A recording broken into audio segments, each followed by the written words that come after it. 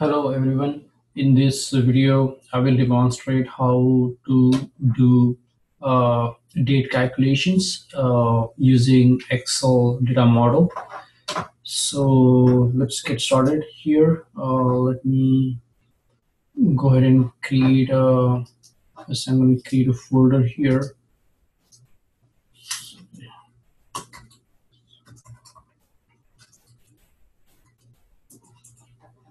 I'll create one Excel file here.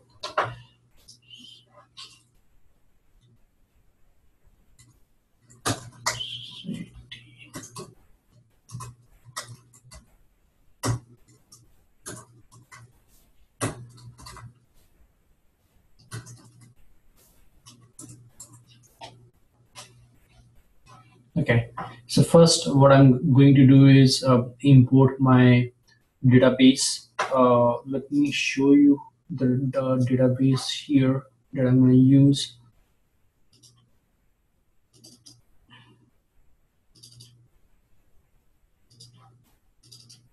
That's facility services. I will open it up for you. Uh, it has this many tables, customer, employee, location, price, product master, transaction table is kind of a fact table and all other tables are kind of a dimension table. So you can look at the relationship. This is very much like a star schema. You have all these dimensions employee customer location product price master and then this is the fact table which is the transaction table the main table that records all the transactions. So you can go through the different relationship so what we're going to do here is we would like to import this data into Excel uh, using data model and try to summarize the data by, let's say, you know, sales by month, year, or quarter and see how it goes. So I'm going to close this here.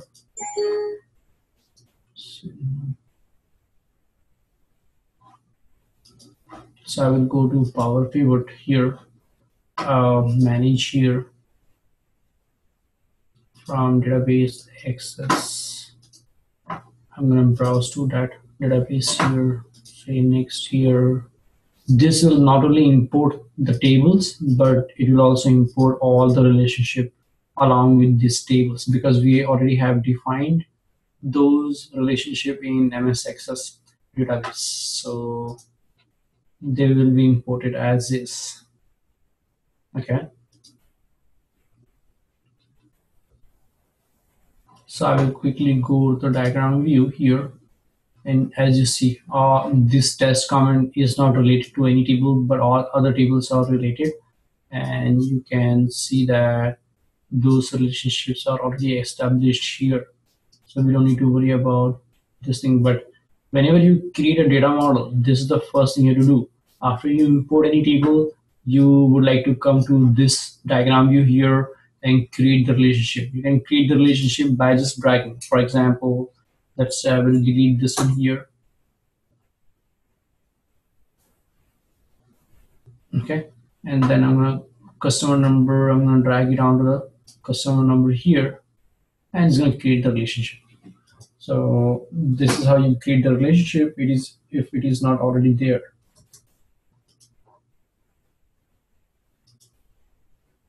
Okay. So I'm here. Let's uh, what I will do is go to the pivot table here. I will put in the existing sheet here because this is all empty here. Enable the contents. And I would like to quickly create what we call a simple table. Let's say in the transaction table, I have service date and sales amount. Okay. Now let's say I want to group this data by month or year. So in a typical pivot table, you could right click and then you can go to the group and do it there. But since this is based on data model, you don't see any grouping feature here. And this is a big problem. So there is a workaround for this and that's what we're going to work on. What I would like to do is I will go to the power pivot uh, menu here and I'll go to the transaction table here. We'll create bunch of calculated field based on the service date. So I'll say here, let's say service underscore month number. So here what i'm going to do here equals month that's a function and i'll click on the service date here. So that's going to give me the month number. Here let's say i'm going to say service underscore month. So here what i'm going to do here i'm going to use format table here. And what I'm going to do here I would like to use service date. Okay. And I want to format it to MMM which is gonna give me three character month name so I have all those month name here. And here let's go ahead and add service quarter.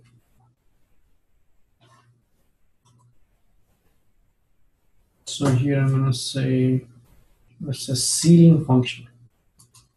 Ceiling uh, say service date I want to round it up to three decimal or uh, three up to three uh, you know number. For example so if it is one or two or three it will always be rounded up to three. And if it is three four four five six four five six will be rounded to six. So we're gonna see that here. Okay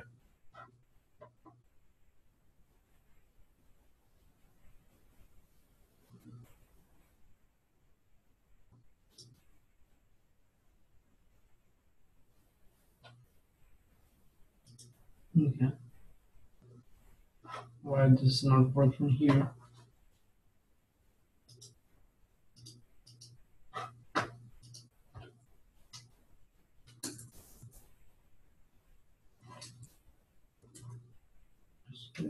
This is service.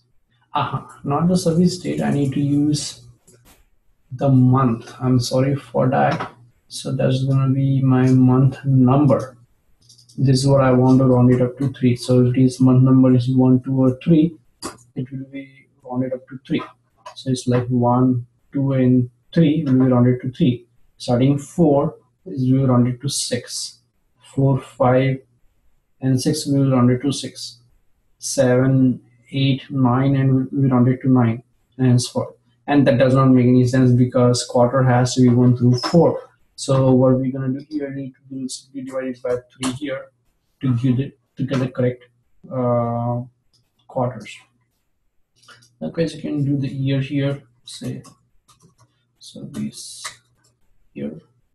And these are all called calculated fields. So once you do this, it will be, it will become very easy to analyze the data. So here I'm to say year square parenthesis service date and then give me the years. Okay. Here what I can do is I can also create something called service year quarter. And this could be a nice calculated field that will based on concatenation of some fields here. So I'm going to say here, let's say I want to use service year. Okay. And I'm going to concatenate this with this field here and service year and then the six service quarter.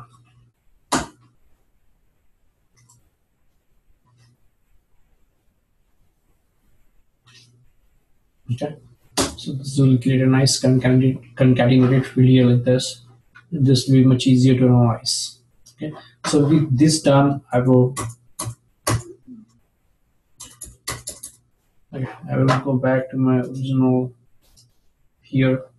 Now I don't need service date because once you drop this one down, you can see that you have all those additional calculated fields which you just did it here. And one thing you might have noticed here is this this line here that divides the the test comment table from other table because test comments is not related to any table if you see in the data model So that's why that's being put separate. But all these tables are related uh, in the data model. So if the tables are related, they will be part of one group. If it is not, then you'll see such dividing lines here. Now I don't want service date here, but I can use any of this uh, fields. Let's say service month. So we get the summarization by month.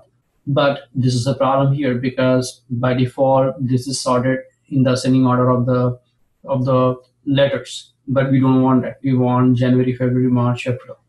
So what what we can do here is I'll go back to pivot power pivot menu here and we can sort this table. So you click on this cell here, sort by I'm gonna say sort by month number. Say we have here month service month number. Say okay. And that should do the trick. And if you go back here now you see january february march april. Likewise you can use any other one. For example i can use uh, service year quarter. So it's going to do quarterly sale by year for that particular month or you can do the yearly sale and within yearly sale you can have quarterly sale so that is also doable here so this is pretty cool feature here once you do the calculated field. So the the whole purpose here was, you know, it's always beneficial to do some of the calculated fields. Make sure that you know those calculated fields basically related to dates, month, quarter, year. They should be done mostly in fact table. Uh, you can also do it in other table if there is a need. So you need to justify the purpose of doing those calculations. Either way, whenever you are dealing with the dates, it's always recommended to create your own calculated field. With this, uh, I will stop my lecture video here. Thank you very much for listening.